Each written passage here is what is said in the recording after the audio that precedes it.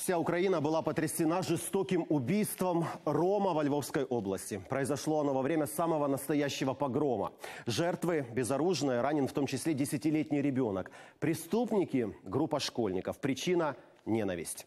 Это нападение осудили все. Политики, посольства, церковь, полиция обещают сделать все, чтобы защитить ромов от возможных новых нападений. Вот только смогут ли это сделать? Разбирался Игорь Левинок.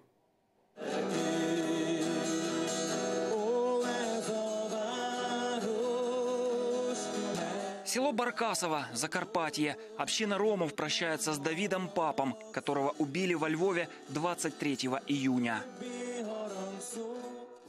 Трагедия произошла здесь, на окраине Львова. Ночью группа подростков с ножами и битами напала на ромский табор. Давиду нанесли 15 ножевых ранений. Парень умер на месте. Его брат Радж оказался в больнице. Среди пострадавших ребенок и женщина. Полили бочку и ножик сюда. Туда. И все, и били вон раз меня. Муж упала, я так. Ножик було його, молоток, все було. Уже на следующий день полиция задержала девятерых львовских школьников 16-17 лет, а также организатора нападения 20-летнего Андрея Тычку. Вони так якби згуртувалися зовсім недавно, якщо брати так по, по часу, в межах декількох місяців. Е, Їх об'єднав цей один старший з метою е, наведення порядку в місті Львові. Ну, тобто такі десь ідеологічні йдуть закиди їм. Задержанным уже сообщили о подозрении. Некоторым грозит до 15 лет за решеткой или пожизненное заключение. Всего к нападению причастны 11 человек. Все называют себя членами группировки «Трезвая и злая молодежь». Сначала они занимались уборкой своего района, затем ополчились против тех, кто мусорит, бомжей и наркоманов, позже и против ромов. Родители и учителя утверждают, об увлечении подростков ультраидеями не знали. Юрій не розказував нічого про цей вечір. Ми вважаємо, як батьки, дитина не винувата. Ми просили суд відкрити, щоб був доступ е, журналістів і телебачення. Нашого е, звернення не прийняли до уваги. События во Львове потрясли всю Украину. Это Ужгород. Ромы протестуют против расизма. Нас це болить, і всі ці речі, які відбуваються на, на сьогоднішній на Закарпатті, це ненормально. Вбивати людину, тому що він ром, е, прийти вечором в масках з ножем і зарізати людину, і різати дів, дітей, жінок це ненормально. Невже нам не можна поїхати у Львів, в Тернопіль, в Київ? І кожен із нас є ромом. А в Киеве лидеры украинских ромов вместе с правозащитниками собирают журналистов, говорят о недопустимости ксенофобии и обвиняют представителей власти, которые, по их мнению, не предотвратили резню во Львове.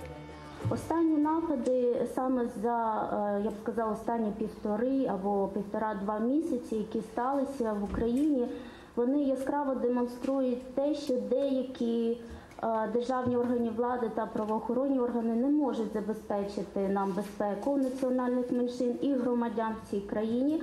Глава нацполиции Сергей Князев реагирует. Говорит, теперь ромов будут защищать лучше.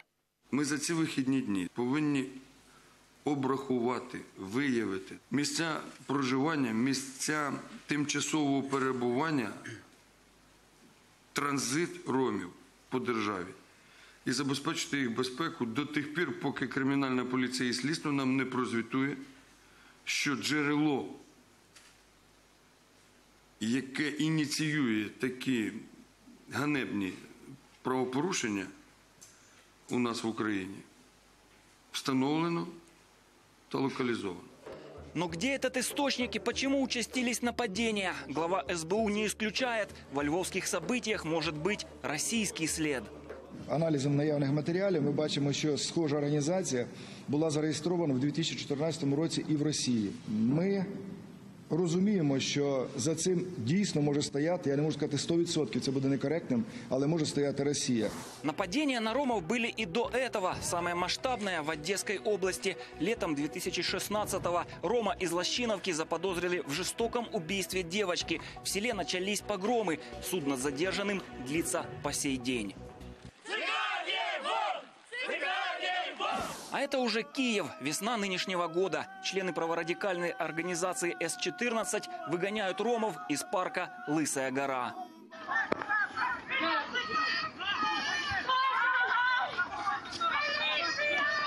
Через два месяца история повторяется. Нас дружины сносят табор в Голосеевском парке. Свои действия называют борьбой с антисанитарией. Здесь хуже воняет, чем в морге.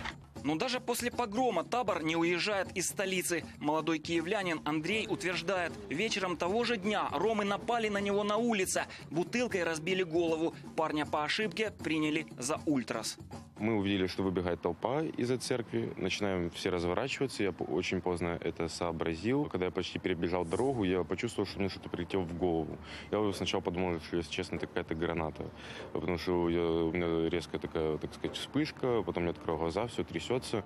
Мама Андрея написала заявление в полицию. Требуют наказать виновных ромов. Но до сих пор никого из них так и не нашли. Какой здесь может быть расизм, если это организованная группа, которая занимается шантажом, вымогательством, ограблениями?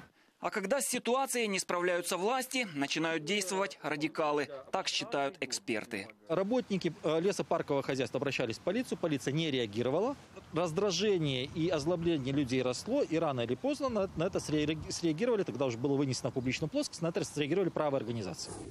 Их э, бьют за то, что они принадлежат к сообществу, которое, по мнению устоявшемуся в обществе, если и не является полностью преступным, то дает значительный процент криминала.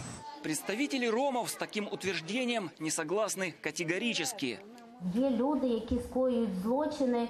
Ну скажіть мені, чи є українці, які не скоюють злочини? Яка кількість цих людей? Чи єдине, в чому, ну, наприклад, ви можете бачити більшу кількість ромів, це вже бракування. Последние нападения на ромов обнажили давнюю проблему, которую никто не решает. Как интегрировать в общество ромские общины и тем самым изменить предвзятое к ним отношение. Игорь Левинок, Галина Якушка, Иван Ермаков, Юрий Голубенко, Владимир Самченко. Подробности недели, телеканал «Интер».